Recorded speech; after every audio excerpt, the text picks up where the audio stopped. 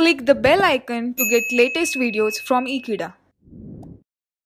Hello friends, so in this video we are going to learn about the energy band diagram and the working of a very special type of laser and there is nothing but a semiconductor laser.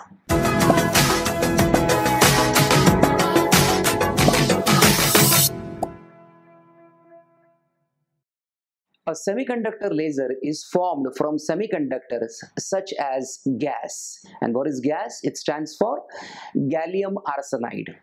So this is a type of semiconductor from which we are going to make a p-n junction. And not only we are going to make a p-n junction, but we are going to heavily dope it. And what will be the result of this heavily doped?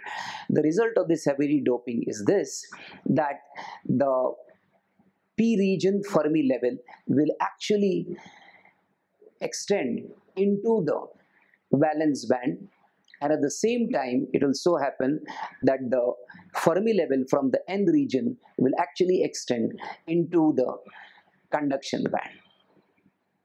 So with this situation we are going to now study the most important parameters of a laser and the three important parameters of a laser are the first of all is nothing but the active medium. The second is nothing but the energy source. And the third is nothing but the resonating cavity. So the active medium in this particular case since we are using a PN junction heavily doped p-n junction diode is nothing but the depletion region. And in this depletion region there are no free charge carriers. So this becomes the active region the second is the energy source or rather the pumping source. The pumping is done with the help of electric energy.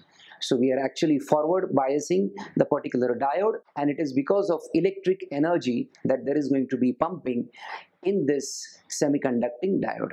And the last is nothing but the resonating cavity. So the resonating cavity is nothing but the exposed part of the depletion region which is actually polished and it will so happen that it is this small cavity that actually will serve as the resonating cavity as the optical cavity for the laser avalanche effect and it is this that it is in this particular cavity that which is actually going to be of the order of an integral multiple of lambda by 2 so one end of this is going to be polished and the other end of this is going to be partially polished so laser can come out from the partially polished end of the cavity which is nothing but the depletion region. The next we do is nothing but the functioning of this particular semiconducting laser. So whenever I forward bias this semiconductor p-n junction with a very small voltage then in this case it will so happen that holes and electrons will be injected into the depletion region and in this depletion region it will so happen that they will recombine. They will recombine and light will be emitted during the recombination. These particular recombinations will not give a laser but rather it will lead to because all of these are nothing but spontaneous emissions. It will give rise to a led type of emission now, as I slowly increase the forward bias, and when the forward bias is raised beyond a certain threshold value, it will so happen that the electrons and the holes will be injected, but they will be injected in a higher amount. Now in this case, the amount that have been injected, right, the rate of injection will be is far higher than the rate of recombination.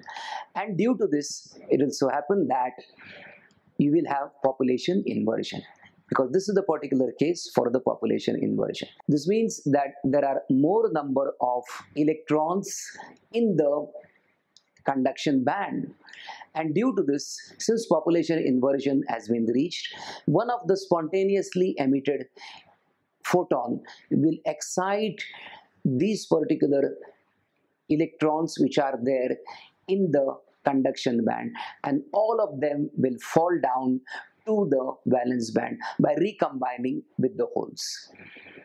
And due to this, there will be emission of coherent radiation. And due to the cavity which has already been formed in the depletion region, there will be an avalanche multiplication of these radiations and we will have a high intensity laser that will be emitted. The energy of this laser is equal to the difference between the bottom of the conduction band and the top of the valence band. That is your band gap. And therefore Eg is equal to h into c by lambda. And hence your lambda that is the wavelength that will actually be emitted is equal to hc upon your Eg. Thus your wavelength is dependent upon the band gap of the semiconducting material. For considering a very specific case, the GaAs laser is going to give you a wavelength of around 8200 angstroms, which is actually falling in the infrared region, whereas the GA ASP, that is the gallium arsenide phosphorus laser, is going to give you a wavelength of around 6400 angstroms that falls in the visible region.